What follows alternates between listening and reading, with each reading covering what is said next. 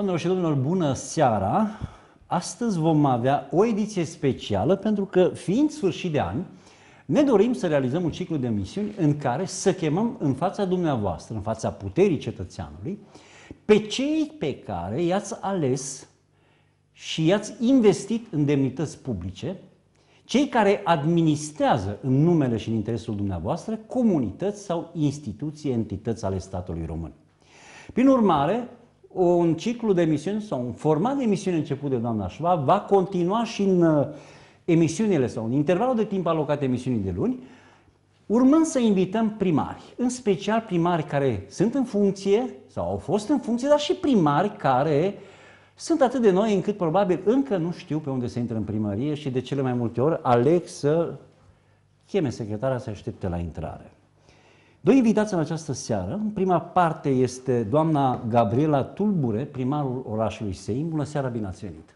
Bună seara și bine v-am regăsit! Doamna primar, am avut ocazia să vă mai am ca și invitată și vreau să vă spun că simt aceeași sentiment, sunt onorat să fiu gazda dumneavoastră.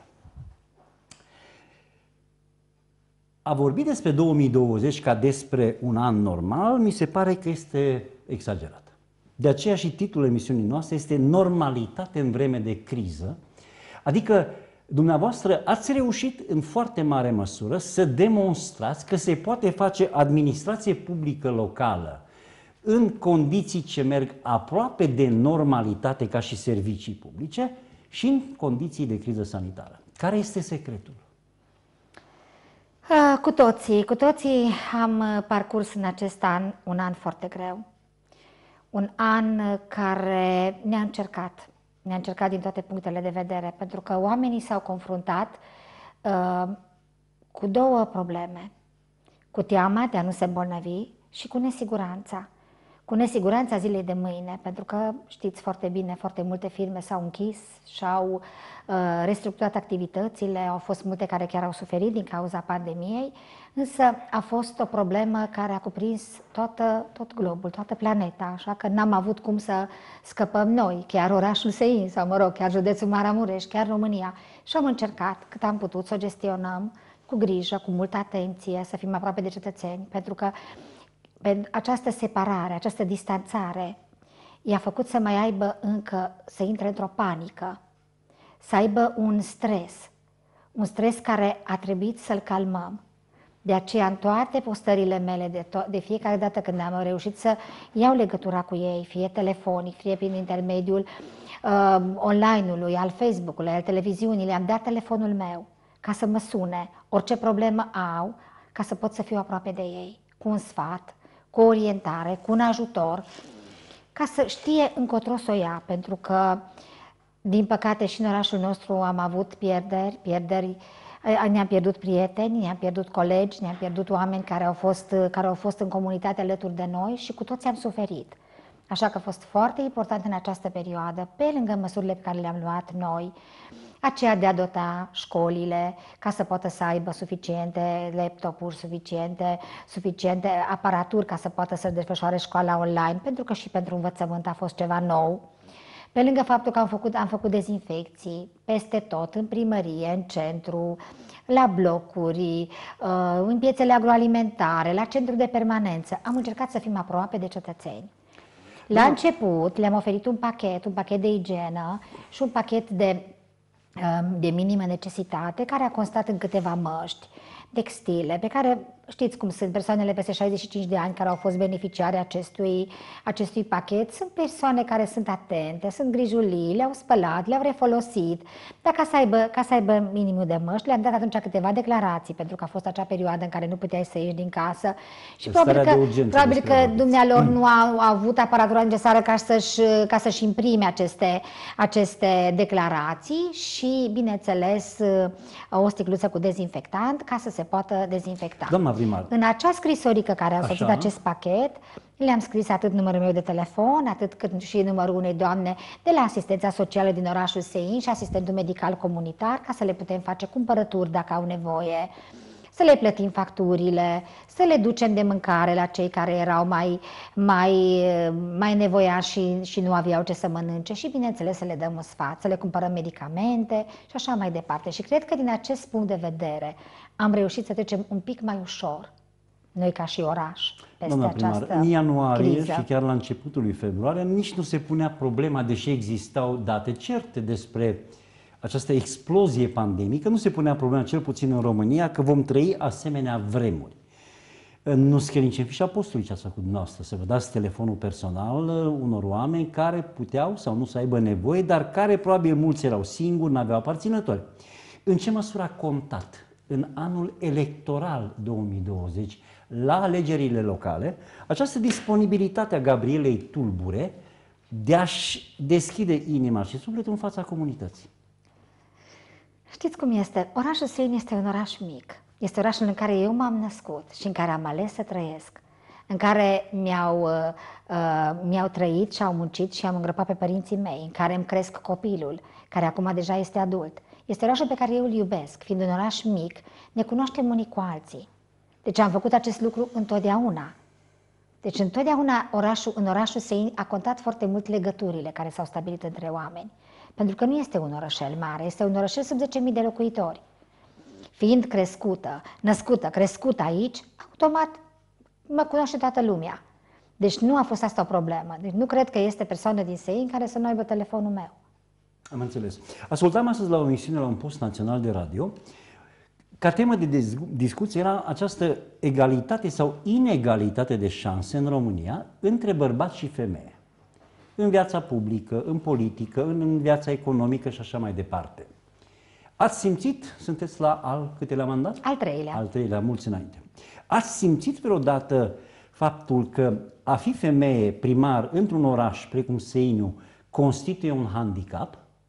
Nu, sau niciodată. un avantaj? Niciodată n-am simțit că ar fi un, un handicap. Um, cum să vă spun, și bărbații, deci eu clar sunt o feministă convinsă. Dacă începem această discuție, o să fiu foarte sinceră de la început. Însă, uh, bărbații probabil că nu pun așa de mult suflet în ceea ce fac. Noi femeile probabil că avem o Asta e o căldură răutate, aparte. acum, din partea Nu noastră. este răutate. De ce ne-a făcut Dumnezeu pe noi mame și nu pe dumneavoastră, domnule? Da, dar între a Șomoghi? face copii și a face bine sau a face ceva la modul am, serios, am, am spus că avem mai multă căldură și punem mai multă dragoste în ceea ce facem. am înțeles. Pot să accept ideea asta. Vă Pot să mulțumesc! accept. Uh, anul 2020 avea, mi-aduc aminte, pe agenda primarului de Sein mai multe obiective. Uh, Unele Vreau să rămânem un pic la finanțate. subiectul acesta, Așa. numai o secundă, Vă și rog. să vă spun că din 216 orașe, din păcate, sunt doar trei femei primar În România. În România. Și una dintre ele este vicepreședinta Asociației Uh, Orașelor. Da, am fost prim vicepreședinte a Asociației Orașelor. De curând am avut o adunare generală în care deci, am fost aleasă cu aplauze ca prim vicepreședinte. Reprezint România în Comitetul Regiunilor. Ah, și asta voiam să spun din Uh, februarie anul și, trecut. Da, Da, și februarie vreau să anul spun ăsta. din decembrie, din decembrie anul trecut și vreau să vă spun, domnul Șomoghi, în februarie a fost prima plenară. Ah, da.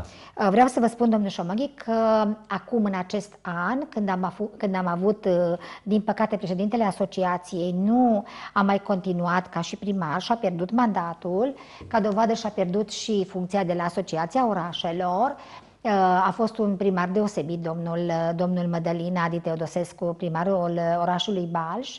Uh, După această, această întâmplare sau această situație, am propus colegilor mei să facem o acțiune ciclică.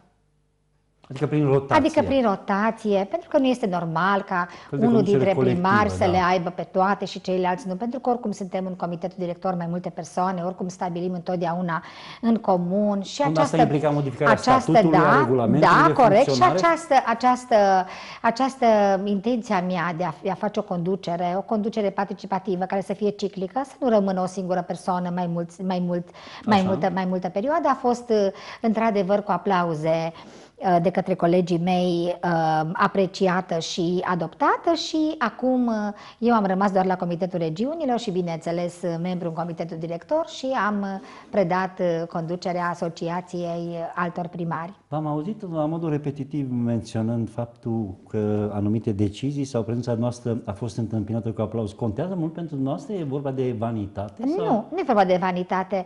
E vorba de faptul că colegii noștri sau în asociație noi, să știți că nu facem politică, Uh, am uh, încercat să facem, să ne gândim toți, pentru că localitățile pe care noi le, le conducem vremelnic au nevoie uh, de stabilitate, au nevoie de măsuri concrete, au nevoie ca noi să ne adunăm forțele și eu am văzut această asociație ca și uh, un sindicat al nostru, al primarilor, care luptă pentru interesele noastre și ale comunității pe care le reprezentăm. Așa, este și atunci, chiar câteva inițiative atunci, legislative interesante. Da, ca și, și atunci am zis, haideți să facem o chestie care să fie pentru toată lumea. E în regulă, am înțeles. Deci, să nu aibă deloc importanță nici partidul politic, nici numărul de mandate, nici faptul că ești bărbat sau femeie. Dar vreau să vă spun că uh, a fost uh, o chestie nu neapărat de vanitate, dar a fost așa o recunoaștere a faptului că vrei să faci întotdeauna să fie bine, ca toată lumea să fie mulțumită și uh, de ce să nu ne ascundem, că la toți ne place când cineva apreciază ceea ce noi facem, adică ne bucură lucrul acesta. Corect. Doamna primar, în 10 minute să atingem câteva probleme punctuale. Bugetul pe 2020 probabil că nu a fost la nivelul așteptărilor și proiectelor propuse. Vă rog frumos să-mi spuneți dacă pentru 2021 ați pus în discuție o eventuală reducere a taxelor locale sau veți merge pe aceleași taxe care au fost și anul acesta? Uh, taxele în orașul Sein nu sunt, nu sunt foarte mari și nu avem cum să le reducem, pentru că, așa cum spuneți și dumneavoastră, anul acesta s-a încasat mult mai puțin, pentru că a fost aceeași problemă criza și aceeași situație cu criza economică și cea pandemică. Și atunci nu am redus aceste impozite și taxe, însă nici nu le-am majorat.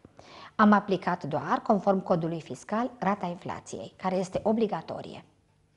Iar la taxele pe care primăria orașului Sei, respectiv Consiliul Local, este suveran, acolo n-am uh, n-am aplicat nicio majorare. Am rămas cu taxele așa cum au fost în 2020. Care sunt salariile din aparatul de specialitate?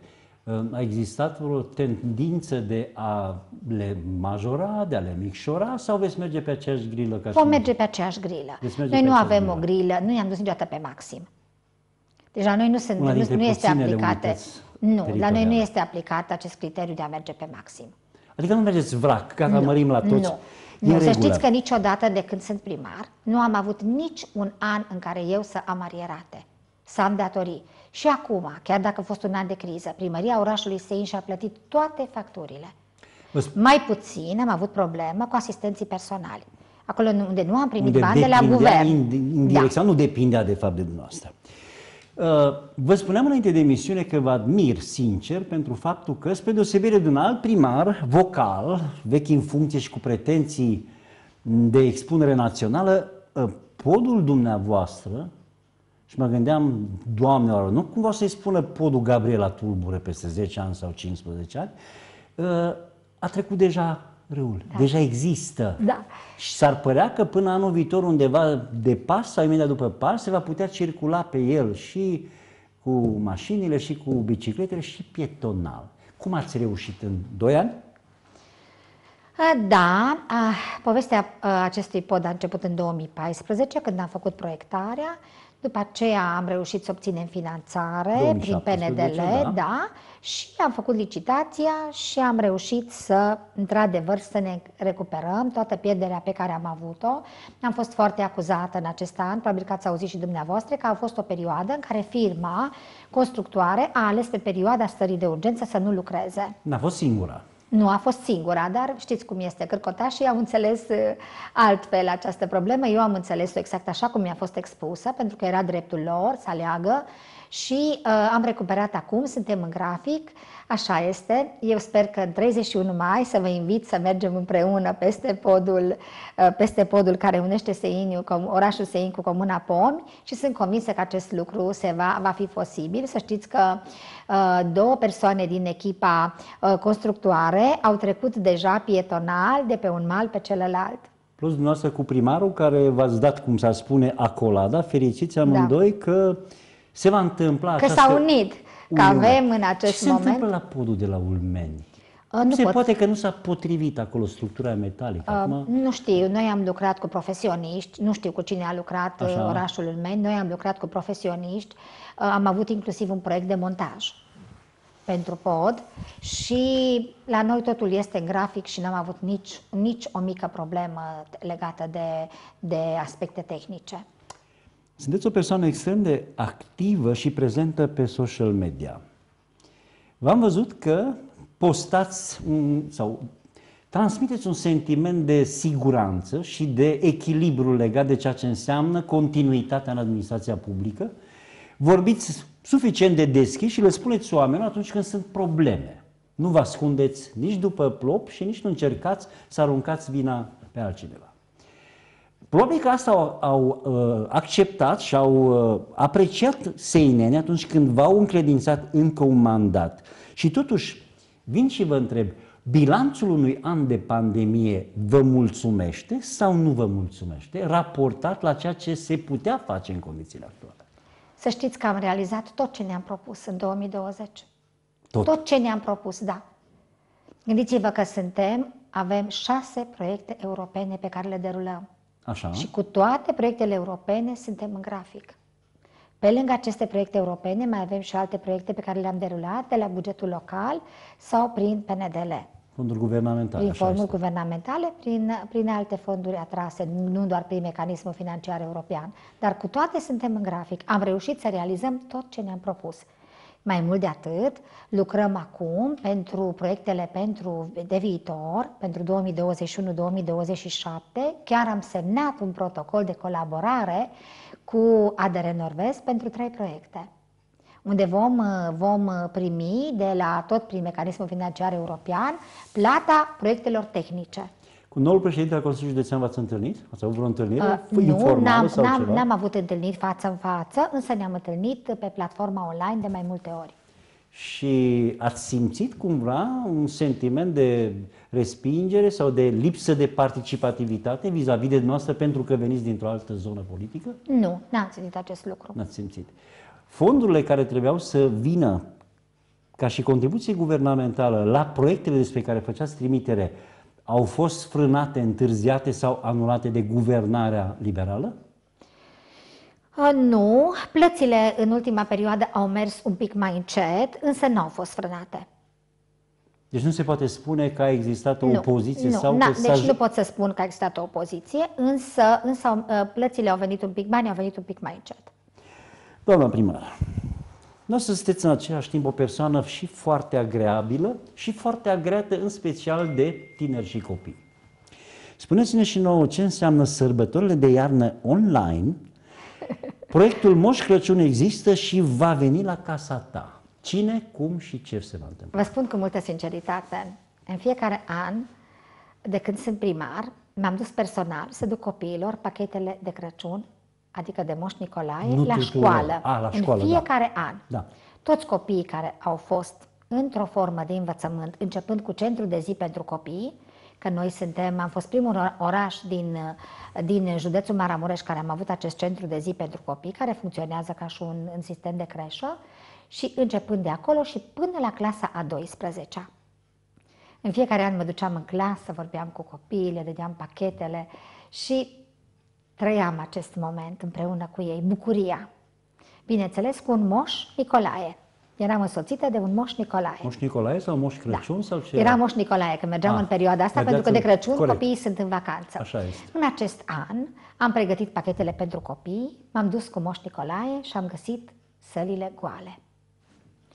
Am pus pe fiecare masă pachetele, urmând ca după aceea domnul director și prin grija cadrelor didactice, ele să ajungă la copii.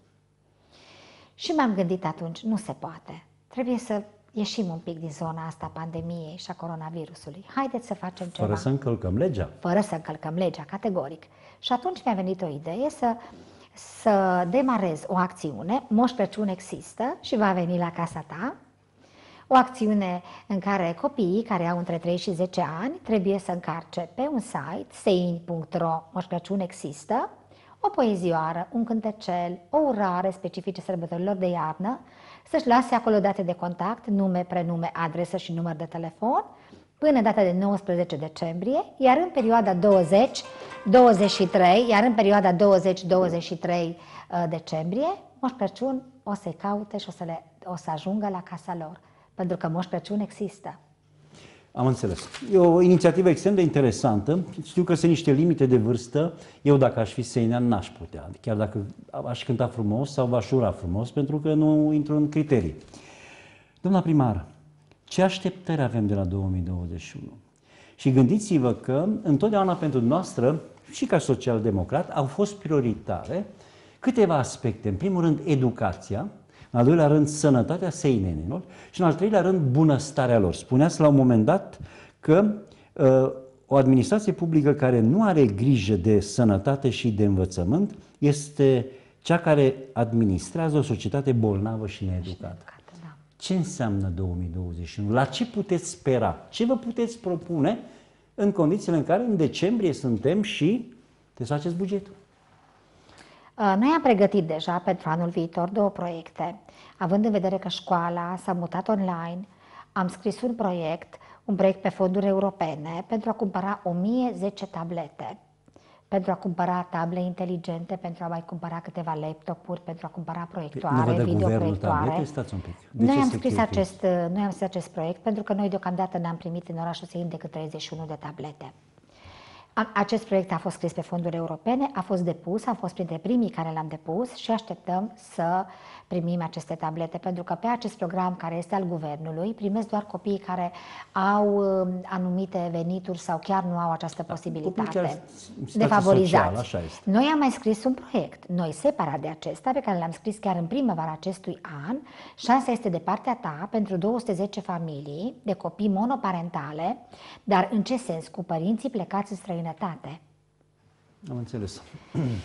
Și mie mi s-a părut uh, foarte ciudată definiția, pentru că eu înțelegeam altceva prin familii monoparentale. Adică cu un singur da, părinte, cu un singur părinte, mamă. da, da, dar aici definiția, uh, definiția este că părinte plecat în străinătate, care și ei vor primi fiecare câte un laptop și vor, vor beneficia de o masă caldă și de un program de școală după școală.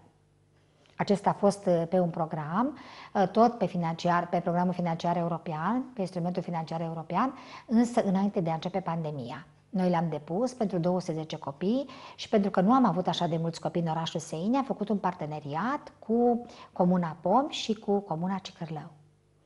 Și una peste alta, v-ați gândit că copiii vor putea an, face nu doar școala da. online, ci să intre și în contact cu părinții plecați? Da, și să poată să facă școală, pentru că știți cum este dacă ai rămas cu un singur părinte, cu siguranță acesta este pe piața muncii, este, este la serviciu, are și el activitățile lui și ar fi foarte bine ca copiii să beneficieze de, de o școală după școală.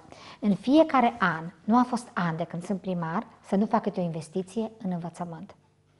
Bun. Ne apropiem de final și vreau să vă pun o întrebare pe care o adresez tuturor politicienilor pe care i-am ca și invitați.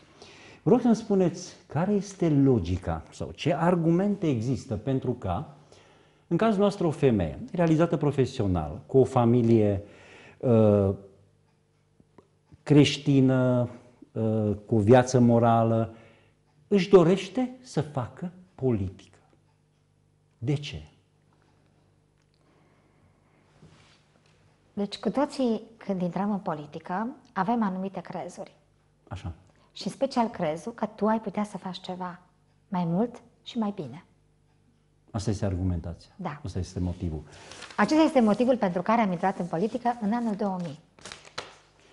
Doamnelor și domnilor, uh, Gabriela Tulbule, primarul orașului Sein, un om pentru care contează foarte mult faptele, respectarea cuvântului dat, într-o comunitate unde chiar dacă nu are unanimitate, pentru că sunt seineni și care nu sunt de acord cu tot ceea ce face doamna primar, dar are măcar disponibilitatea să stea de vorbă cu ei, să-i asculte.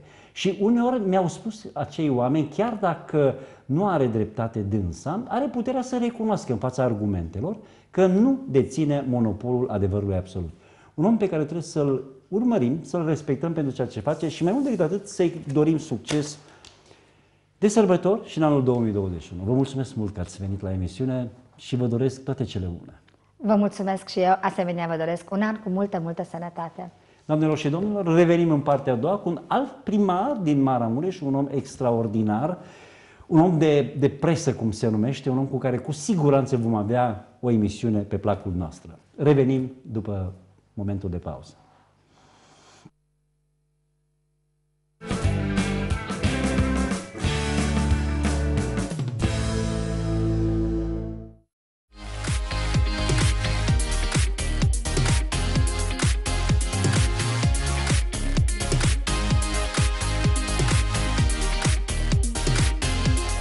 Caramel. Calitate, stil și eleganță.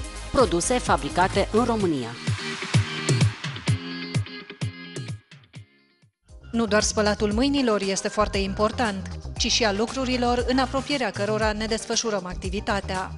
Activ Expert Wash îți pune la dispoziție spălătorie de covoare, spălătorie auto, curățare tapiserie interior autoturisme, vulcanizare autoturisme, toate acestea le găsești într-un singur loc, la Activ Expert Wash, pe strada Victoriei, numărul 35, în curte, la fostul sediu al poliției locale.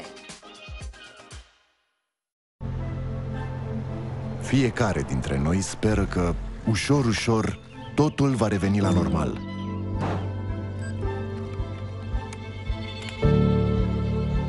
Dar hai să nu ne mai mulțumim doar cu atât. Hai ca de data asta să facem lucrurile mai bine împreună.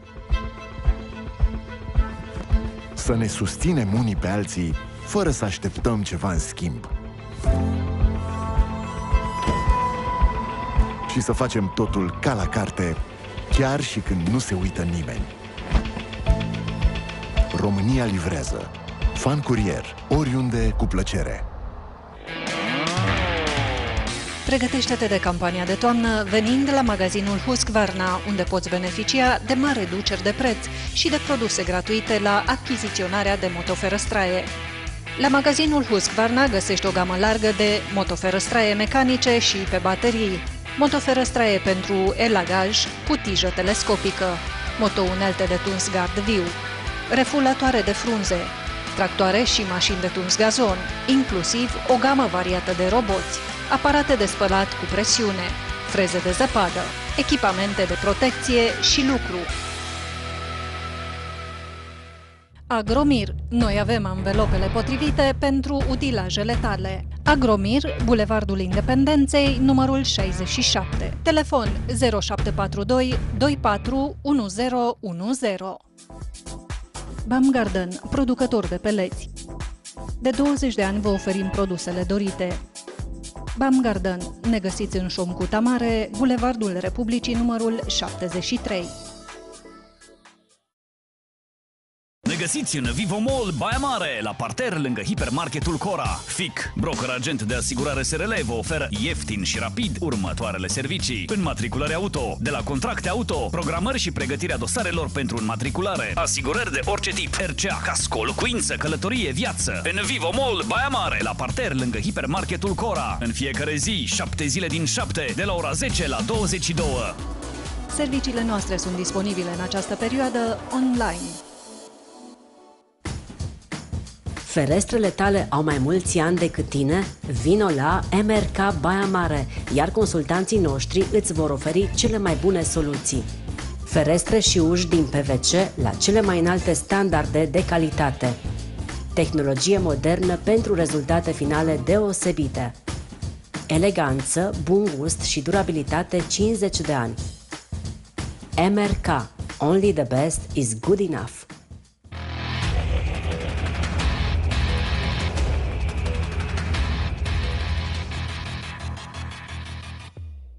Virusul ne-a lovit pe mulți dintre noi. Unii s-au vindecat mai ușor, alții însă au ajuns la terapie intensivă. A fost greu, dar a trecut. Te-ai vindecat și ești fericit. Acum tu poți să-i ajuți pe ceilalți. Donează plasmă. Contactează cel mai apropiat centru de transfuzie sanguină. Pentru ca alții să trăiască, donează plasmă. O campanie a Ministerului Afacerilor Interne.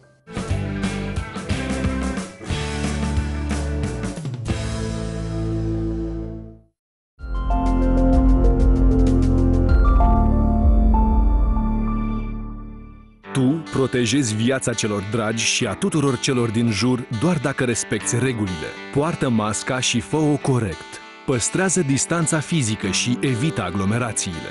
Spală-te și dezinfectează-te des pe mâini. Încurajează-i și pe cei pe care îi întâlnești să-ți respecte dreptul la viață. Virusul ucide. Fii precaut. Salvează vieți înainte de a fi prea târziu. Campanie de informare susținută de Guvernul României.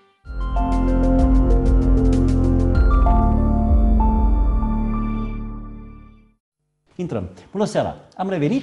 Vă spuneam că avem în a doua parte a emisiunii un primar mai altfel, care are ca și slogan următoarea expresie. Fapte, nu vorbe.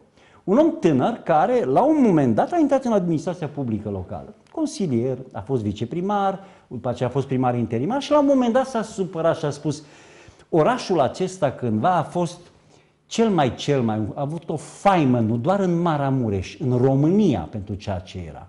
Nu se poate să rămânem în aceeași stare de izolare, de inerție, adică să fim un oraș fără viitor. Și s-a schimbat orașul, în bine, zice mare majoritatea oamenilor, de când este primar, Vladimir Petruț, primarul orașului Carnic. Bine ați venit! Bună seara, bine v-am găsit și vă mulțumesc pentru invitație. Domnule primar, înainte de a începe, aș vrea să vă mulțumesc foarte mult pentru un gest al dumneavoastră, care l-am simțit că e făcut din suflet. Știți, acum trei luni de zile mi-am propus să iau interviu unui om special. Un om care pentru Maramureș reprezintă probabil o personalitate între primii zece din toată istoria sa. Un om cu care am vorbit și personal, dar care, pe care nu l-am putut vizita ca să iau acel interviu televizat din cauza acestei pandemii. Acel om s-a stins la 1 decembrie. Bănuiesc și da. Uh, Este vorba de inginerul Nicolae Dicu, da. un om care, chiar dacă nu era născut în Cavnic, în cei 86 de ani a spus, sau mă rog, în ultimii 50 de ani a spus mereu că se simte un om al Cavnicului.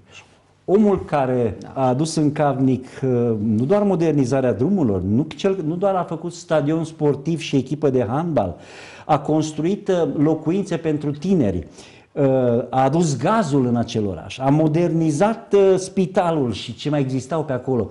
Un om care a făcut ca acea mină unică în felul ei să dobândească cea mai înaltă distinție, cea de erou al muncii socialiste și să nu aruncăm în derizoriu, pentru că nu se acorda oricui. Omul care l-a prins Revoluția ministru adjunct, a urcat ca ministru, a lucrat după aceea în continuare în minerit, până ce a trecut, cum se spune, în rezervă.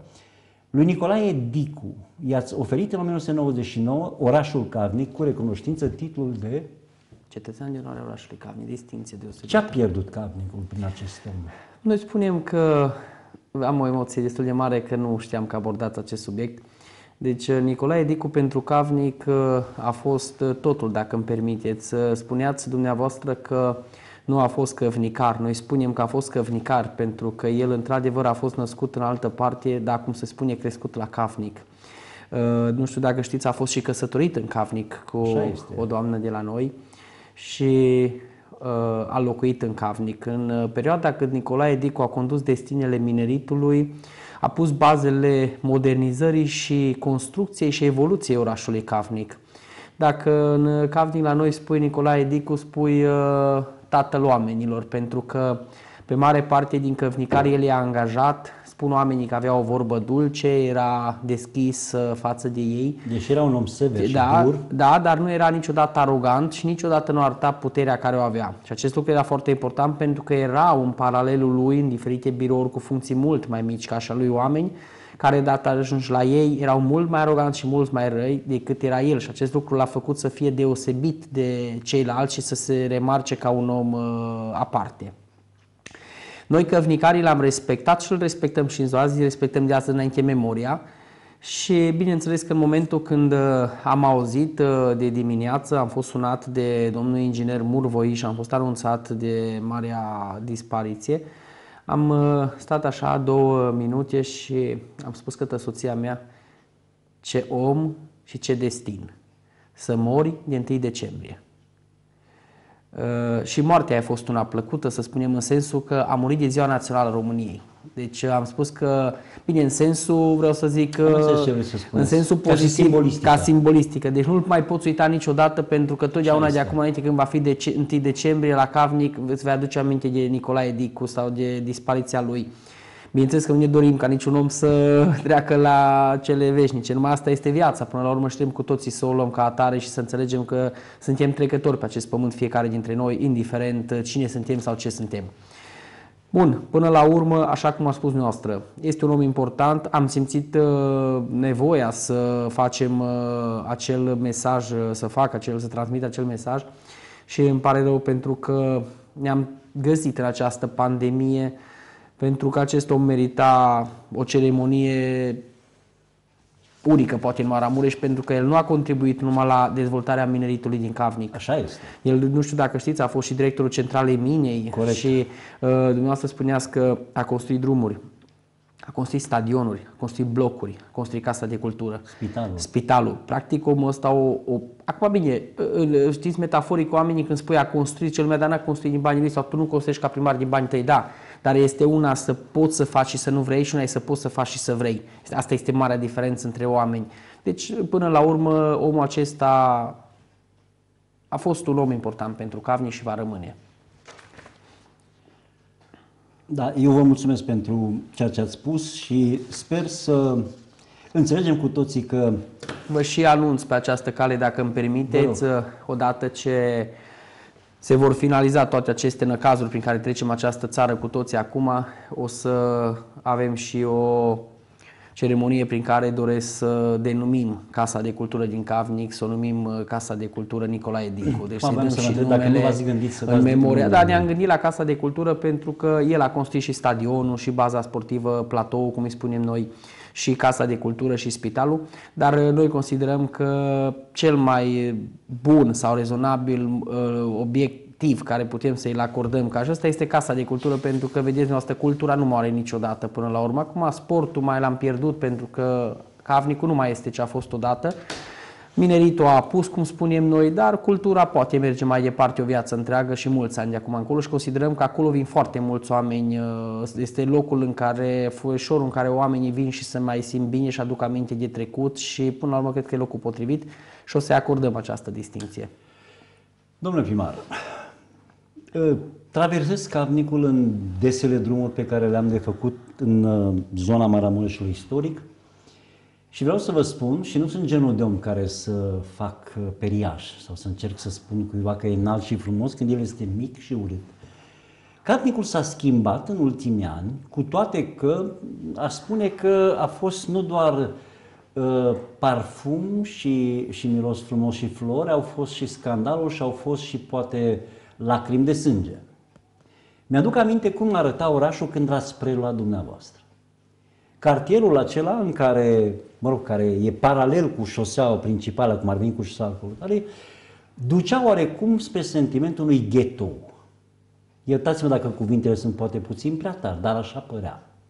Ei, acum, nu doar niște marcaje și eventual o spoială dată pe niște clădiri, simt altceva acolo legat de oameni, de mentalitate.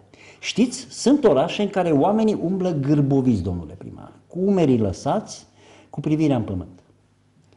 Acum să nu credeți că sunt, oa- nu sunt în Cavnic oameni care nu vă agrează sau nu vă contestă. E normal așa. Nu sunteți Iisus Hristos.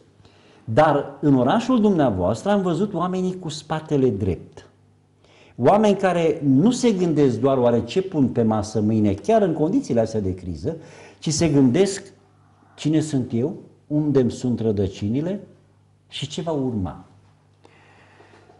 Să știți dumneavoastră că orașul Cavnic uh, este un oraș aparte în inima Maramureșului, pentru că, vedeți, noastră nici nu parcă nu suntem întâmplător sit- uh, poziționați. Noi suntem în centrul județului Maramureș. Dacă vă uitați și pe harta județului Maramureș, dacă doriți... Asta am spus odată și am verificat asta. Da, de la Cavnic te duci la Băiuț, uh, Târgu Lăpuș, te duci la Sighetul Mamații Maramureș Istoric, te duci la Copalnii Mănăștiuri sau te duci la Baia Sprie, Baia Mare.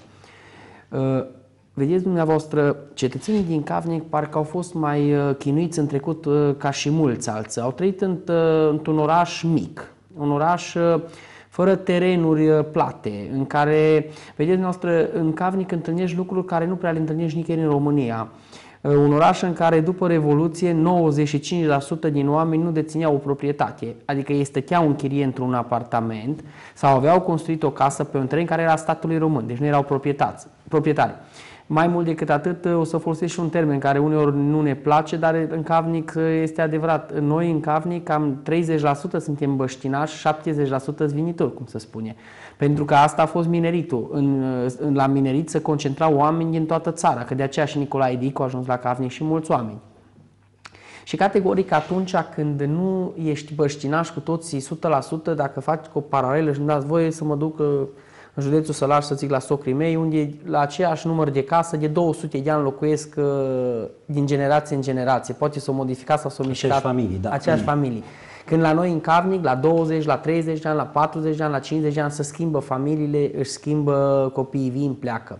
Mai mult, uh, orașul Cavnic, ne oferind în afară de minerit nimic, el fiind construit doar pe baza mineritului, structura lui de dezvoltare a fost ca și bază principală mineritul. El s-a dezvoltat în lateral și în verticală doar datorită mineritului. Odată ce mineritul s-a închis... Dicu s-a ocupat și pentru soțiile minelor. Țineți minte că a făcut acea categoric. fabrică sau da, atelier. Dar odată ce, odată ce mineritul s-a închis, orașul a avut de suferit și atunci oamenii ne fiind pregătiți să facă altceva, ne fiind pregătiți să lucre în alte domenii, pentru că a fost și după comunism, Revoluția din 89, 95 prima ordonanță, 97 a doua ordonanță, 2007 închidere definitivă a mineritului, lucruri încă nu erau deschise frontierele ca oamenii să se învețe cu Occidentul, era visul oricărui atunci român să ajungă în uh, Germania sau în America sau nu știu unde și mulți aveau și reținerea și frica să facă acest lucru.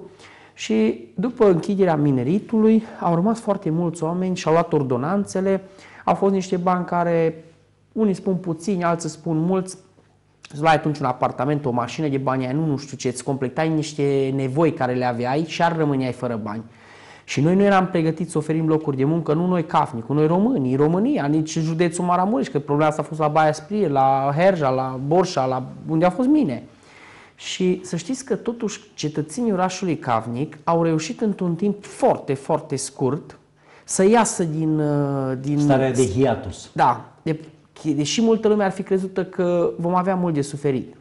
Oamenii au început să se reorganizeze, să se reformeze, au urmat multe schimbări, dar oamenii au început să-și asigure o bună stare. Eu spun că astăzi orașul are mai bună stare decât au avut mai de mult, pentru că mai de mult Uh, vedeți, noastră, nu erau atâția oameni care își permiteau atâtea lucruri. Astăzi în Cavni sunt oameni uh, destoinici și harnici. Și dacă umblați pe străzile orașului, parcă așa dacă puțin am parfumat și noi în ghilimele orașul și au parfumat și oamenii casele. Au început să simtă nevoia de a simți și ei parfum spre casele lor. În ghilimele folosesc acest uh, termen. Și acest lucru îți arată clar că oamenii sunt harnici, sunt pregătiți și inovatori, oricând pot evoluat, să evolueze. Este. Bun, acum avem și o situație într-un fel plăcută la Cavnic, într-un fel neplăcută. Peste 60% din populația orașului este îmbătrânită. Sunt oameni trecuți de o vârstă. Ei plăcută în ce sens? Bătrânețea este un lucru frumos. Au toți pensii, pensiile sunt destul de bune de la mine acum, acum de vreo 2 ani de zile au pensii 5.000 de lei, 4.000 de lei, deci destul de bune pensii din care pot să-și asigure traiul. Dar nu-i bine pe latura că sunt cu toții au probleme de sănătate. Nu există miner să nu aibă silicoză, poate câțiva au scăpat, diabet sau alte forme. Avem peste 6, 600 de persoane numai cu diabet avem la Cavni din 5.000 locuitori înregistrat. Mai avem o categorie copii, circa 700 de copii sub 18 ani și restul sunt generația aia între 18 și 50 de ani care nu-și prea găsesc locul stabil, pentru că uh, Orașul Cavnic, uh, avem încă multe probleme. Uitați, avem uh, peste 60% din oraș, uh, clădirile sau punctele importante ale orașului sunt concentrate în fosta zonă minieră, în este în insolvență și acum are minul și nu putem să punem în valorificare acele clădiri, nu putem să le transformăm în niște fabricuțe, în niște ateliere care să creeze la rândul lor niște locuri de muncă ca oamenii să-și poată asigura liniștea. Dar să aibă... niște firme și oameni trăiesc bine din treaba asta. Corect. Știți foarte păi bine. Știu, da și uh, atunci noi nu prea avem terenuri libere unde să putem oferi investitorilor să facă o investiție. Vedeți, dacă vine un agent economic, Îi trebuie minim un, hectar, un teren de un hectar, două, să-și poată face o hală, parcări, cum se face într-o fabrică. Nu avem în Cafnic așa ceva, numai că ai muta muntele. Costul să muți un munte este foarte mare. După aia avem iar un avantaj și un dezavantaj avem un dezavantaj că pe zona de, de industrie, că ai în Cavnic 5-6 luni pe an zăpadă, ceea ce la o fabrică nu e avantajos pentru că e foarte greu să-și... Dar e bun pentru turism. Da? Dar pe cealaltă latură ne ajută uh, latura de turism. Am Și spus că e industria avantaj, da, am spus că e da. avantaj și dezavantaj. Avantaj pe industrie, deza- a- dezavantaj pe industrie, avantaj pe turism. Deci din toate noi pierdem, dar și câștigăm totodată. Avem și pierderi, dar și câștiguri. Și dacă le punem împreună, încercăm să supraviețuim. Acum, noi sperăm că guvernele care vor veni și cei care ne conduc, să, pentru noi ar fi extraordinar că s-ar găsi o soluție cu Remin, un cavnic. Sunt undeva la 24 de clădiri care împreună au undeva la vreo 20 de hectare de teren, plat, teren foarte bun, asta mineritul atunci și-a luat cele mai bune terenuri. Și dacă s-ar rezolva această problemă, noi nici nu primim impozite pe ele, nici nu le putem valorifica, nici nu se pot crea locuri de muncă. Numai în 5 clădiri de acest gen, dacă s-ar crea numai câte 50 de locuri de muncă, ai avea 250 de Terenurile locuri de alea muncă. trebuie ecologizate, domnule primar. Uh, Noi suntem de acord cu orice formulă, numai să se întâmple odată, dar din păcate Reminul Nu, stagnează. sunteți la putere acum. Dar nu am ce să fac Aveți pentru că... parlamentari care sunt să vă juriști. spun. Legea trebuie schimbată, Nu, să vă domnule. spun, nu, nu. Aici este o chestie în România, poți schimba și legea și nu rezolvi nimic. Deci să vă spun unde e situația. Uh, Aș putea să facem o emisiune. Eu m-am, uh, mai mult de trei ani de zile am umblat uh, zi de zi, lună de lună, pe la București, la Ministerul Economiei, chiar când era și fostul ministru Gheorghe Șimon, eram la ușă la ei în fiecare zi, că eu am fost omul care, știți, eu cam am fost acceptat în sensul că intram pe ușă, dacă nu, uh, dacă nu mă primeau pe ușă, veneam pe geam sau așa, ei știau că nu pot să mă elimine. Și atunci am avut discuții punctuale cu fiecare ministru Economiei, cu secretar de stat, cu Așa, directori. și ce v-au spus? Uh, Chestiunea e una interesantă. Deci, în primul rând, Reminul este în insolvență. Așa este. Legea insolvenței este una foarte interesantă în România. Trebuie să-și ia banii fiecare care are de la bani de acolo. Masa Dacă- credală, masa priorități, credală. La cine masa are- credală sunt sute de agenți economici și societăți sau statul la stat e la masa credală. Uh, în valori, uh, valorile, uh, bunurile care există în Maramureș uh, a Reminului sunt inestimabile. Plus, dumneavoastră, cred că nu știți un lucru, sau poate îl știți, dacă nu vi-l spun eu, și mulți maramureșeni nu știu și asta este un avantaj iară pentru Remin, dar un mare, mare dezavantaj pentru rezolvarea problemei mineritului în Maramureș sau rezolvarea odată acestor clădiri. Roșia Montană este comasată în compania Remin. Da, deci este așa ținută este. de compania Remin. Și acolo există un interes foarte mare și niciodată nu se va da falimentul asupra companiei Remin pentru că atunci s-ar da drumul și companiei uh, Roșia Montană. Și noi din, acest, uh, din această cauză pierdem Maramureșenii că nu se valorifică odată clădirile. Lichidatorul are interesul lui. Companiile de stat create în jurul lichidatorului care administrează au interes că vreo 200 de angajați la convertmin și rezmin care și-au salarii de subteran și Da, astăzi. bandiții aia care spun au că au interes să rămână pe protejat funcții, arile, că au da. salarii foarte mari și ei, pro- Doamne Sfinte, încă duc mai Și domnul departe. Gâlcă mai e director, ce salariu? Da, are? sau Ce câte dânsul? 200 de milioane și îți plătiți de subteran. Și eu bani, au plus încă firme, sunt consilii de administrație, deci au convertminul, ei sunt consilii de administrație. Au uh, vreo patru com- societăți în care toți, toți ei sunt consilii, deci e o, o nebulosă Nu aici. și de ce nu se poate schimba legea, domnule primar? Păi, ar trebui să schimbi vreo 5 legi ca să poți să... Așa, cinci. Păi, bun, dar dumneata când ai schimbat legea insolvenței, mai beneficiază în România încă 5.000 de firme care au dat țapă statului Așa, sau care nu au plătit și? la stat. Deci tu în momentul nu poți da o lege cu dedicație în România. Păi, nu poți, că nu e evident. constituțional. Așa deci tu este. dacă dai o lege, ai favorizat și... Legea ar trebui să fie una fa- de favorizare un pic. Ei, în momentul când ai favorizare minul, ai defavorizat poate 100 de agenți economici care i- i-ai șterge de la masa credală. Doi, ai, uh, ai uh, călca în picioare uh, alți 500 de agenți economici care sunt în insolvență pe bună credință. Deci e foarte greu să te atingi. Deci dumneavoastră vorbiți de un mușuroi și cu un băț imens pe care dacă l-ai băga în mușuroi, uh, Ar crea o, ar crea o problemă, o un fel de- explozie. un fel de explozie. Bun, explozia, acum să vă spun, ar fi o a explozie. rămâne și a nu face nimic este o soluție. domnule Nu, primar. nu, Păi nu, și atunci? corect. Dar uh, vreau să spun că aici, uh, schimbându-se miniștrii din 3 în 3 luni, din 2 în 2 ani, sau cum doriți noastră că știți ce vorbesc, nici unul nu poate veni să gândească o strategie pe termen lung, să adune pe toți la masă. Plus avem fostul avas, a clădire trebuie să primească avizul la fostul avas unde Nu seară există voință niște... politică, domnule primar, și Ei, asta nu, este. eu v-am spus să sunt interese economice foarte, foarte mari. Uh, Două probleme cu dumneavoastră. Uh, Ați fost acuzat nu odată de traseism și uh, mă gândeam, mă gândeam dacă un primar întrebat fiind de ce ați migrat de la un partid la altul, uh, folosește ca argument uh, nu se mai regăsește în uh, programul partidului, uh, convingerile lui sunt de altă natură sau pentru interesul comunității. De fapt, domnule primar, haideți să fim oameni serios, suntem oameni maturi amândoi. În România nu există convingeri doctrinare. Nu există ideologii clar definite, totul este foarte fluid, că dacă vă uitați în programul PSD-ului și al Partidului Național Liberal suprapus, 80% sunt aceleași obiective. Și e firesc că trăim în aceeași lume, în aceeași țară. Vin și vă întreb pe dumneavoastră, în momentul în care dumneavoastră intrați în primărie, vă simțiți un primar cu coloratură politică sau sunteți primarul Cărnicare? Deci haideți să vă spun în primul rând dar mai avem 5 minute, domnul primar. Trebuie da. să fim mai succinți un pic. Bun, dacă mi-a spus această întrebare, trebuie să aveți și răbdare să și vă răspund. Așa, dar puteți spune cuvinte deci, multe eu sau sunt uh, unul dintre cei mai mari oameni uh, traseiști politic din județul Maramureș. Așa. Poate sunt cel mai traseist. Adică cel mai traseist e Cătălin Cherecheș și o să al doilea după el, că el A, e mai așa. vechi ca mine în uh, politică. politică. Da. Uh, mă declar cel mai mare traseist politic și voi rămâne în continuare unul dintre cei mai mari traseiști politici. Întrebarea care se pune și care dumneavoastră trebuie să ne o mai puneți moderatorii în general sau ziariștii sau oamenii de presă nouă primalor, ar trebui să nici nu mai puneți întrebarea asta niciodată și să vă obișnuiți cu ea. Pentru că în România banii se dau pe criterii politice. Așa. Eu, dacă doresc să fac ceva pentru comunitatea mea, dumneavoastră trebuie să remarcați un singur lucru. Sunt singurul primar din Maramureș care am plătit salariile asistenților personale la timp în ultimii 8 ani de zile și și bani de concediu. Puneți-vă întrebarea Așa de unde. Este. Sunt singurul care am plătit, vă rog să do- vă document, nici baia mare nu plătit. Vladimir știu, o plătit. Știu, știu. Bun. În momentul când eu am făcut traseismul ăsta politic, nu l-am făcut niciodată fără negociere. Am fost un om care am negociat. Am uh, venit și am, dacă îmi dorit, uh, îmi permiteți și poate am șantajat politic dacă doriți. Vin dacă îmi dai asta, dar niciodată pentru mine personal, totdeauna pentru comunitate. Am atâtea proiecte, le finanțez, îmi dai axa asta de finanțare, mă asigur asta, vin. Nu, dacă nu, nu vin. Punct. Interesul meu a fost mai presus decât orice populație orașului Cavnic și cetățenii Cavnicului. Și eu din încă din 2012 am fost singurul om politic din Maramureș care în timpul uh, politic, din, în timpul mandatului am schimbat de două ori partidul și mi-am pierdut calitatea.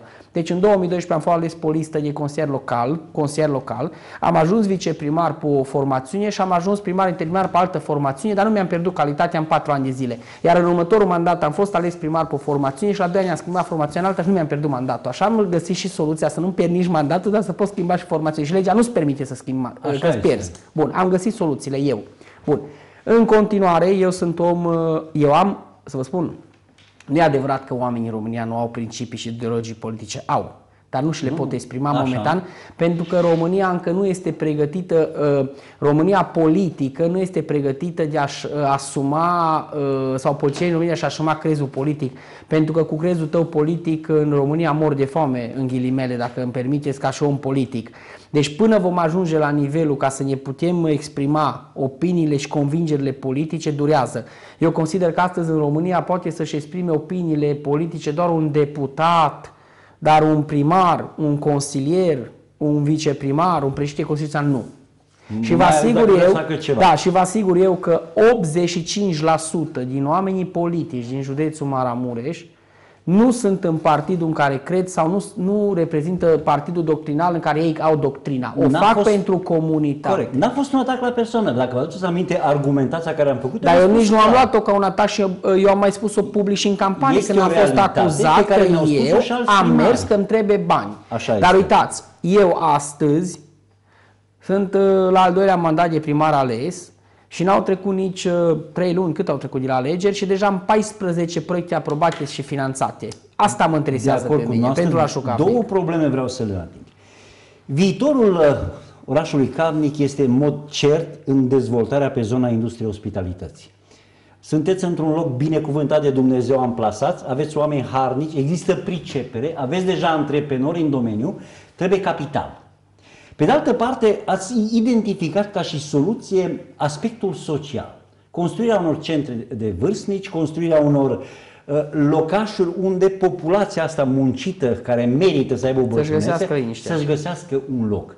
Domnule primar, dacă ne uităm dincolo de 2021, pe 5-10 ani, unde vedeți carnicul? Dar vă rog în 30 de minute. În 30 de minute e mult, în 30 de 30 secunde. de secunde, pardon. Uh, Eu cavnicul, dacă depinde acum și de ce doresc alții, cavnicul văd într-o zonă de turism și sănătate, dezvoltarea lui să fie paxa de turism și sănătate. Când spun sănătate, sper că știți la ce mă refer. Evident. Eu am, Acel uh, spital care spuneți noastră pilot va fi unul. Uh, Deci spitalul deja este trecut de toate etapele, doar așteptăm încărcarea în SEAP. Am înțeles că la Compania Națională de Investiții sunt 15 persoane care se ocupă de licitații și sunt câteva zeci de mii de contracte care trebuie încărcate și durează puțin aici până vom ajunge, dar proiectul este finanțat, aprobat. Dar eu când spun sănătate nu mă refer numai la spital. Noi mai avem încă două proiecte, să construim unul, cel mai mare sanatoriu de vârstnici din nord-vestul României, 250 de locuri de cazare și un alt sanatoriu de vârstnici pentru persoane cu dizabilități, 80 de Cu locuri de locurile cazare. de muncă aferente. Păi, dorim de locuri de cazare care automat creează locuri de muncă. Deci dorim pe zona de sănătate, dacă doriți să ajungem la 500 de locuri de muncă și undeva la 600 locuri de cazare în perioada următoare. Și cu- de ce investi, doresc eu să investesc în viitor în sănătate? Pentru că să știți, eu am un prieten foarte bun în Israel care uh, este un tip uh, interesant și care a investit în câteva sute de spitale din lume și la întrebarea la care am pus-o de ce în spitale și nu în școli, de ce în spitale și nu în autostrăzi, pentru că mi-a spus așa, domnule primar, sistemul de pensii și sistemul de sănătate pe planetă niciodată nu poate muri. Și nici nu are nevoie să dea faliment. Păi nu poate. Domnule primar, a fost o plăcere să vă am ca și invitat. Sper să mă mai onorați cu prezența, pentru că sunteți un om atipic pentru un primar. Pe de altă parte, sloganul fapte și nu vorbe pare să vă reprezinte, cu toate că sunteți văzut ca un om dungos, țâfnos, dificil, necooperant, dur și așa mai departe. Poate că de asta are nevoie ca cavnicul, poate că de asta are nevoie clasa politică. Să terminăm cu mănușile de catifea și cu bibilitul în condițiile în care țara arde. Vă mulțumesc pentru prezența în emisiune, vă doresc succes. Și eu vă Dumneavoastră și mulțumesc. cărnitarilor. Uh, Dați-mi voie să profit de această invitație să le urez tuturor căvnicarilor și maramureșenilor la mulți ani, sărbători fericite, Crăciun fericit, la mulți ani încă o dată pentru anul care vine și să le spun că să se protejeze în primul rând pe ei și apoi ce- pe cei din jurul lor. Dar vreau să vă răspund și la întrebarea noastră, că așa mi se pare corect.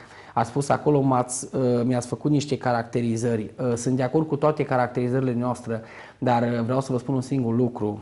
Nu eu am devenit așa, societatea în care trăiesc m-a făcut așa, nu societatea cetățenilor, societatea politică, să mă duc uh, frumos la o ușă și să mi se spună da, da, serviți o cafea și după aia nu. Atunci mă duc și spun da, orba. Deci astăzi trăim într-o societate în care minciuna primează, în care cuvântul nu, nu-și are locul lui și atunci ești obligat să vii cu impunere. Și o paranteză dacă un minut puteți. Eram viceprimar 2012-2016, eram mai agitat, eram mai tensionat, eram mai nervos. Bun, am rezolvat niște probleme. Am ajuns primar. Am spus, domnule, trebuie să mă așez, să mă liniștesc, că am trecut în o altă etapă, nu mai am voie să am ieșirile alea, trebuie să fiu mai controlat. Deja sunt un diplomat a orașului. Doi ani de zile m-au călcat toți în picioare, nu se mai aproba nimic, pentru că deja, a, nu mai, și-o reveni numai. Când am pus iară piciorul pe țambale, iară au venit pro- la oraș tot ce eu trăit. Și atunci am învățat că în România nu mai așa merge momentan. Doamnelor și domnilor, un primar atipic, un politician care e altfel decât suntem obișnuiți. Dorim succes primarului Vladimir Petruț, căvnicarilor și de ce nu maramureșilor. Ne mai vedem până la sărbători. Bună seara, mulțumesc pentru atenție.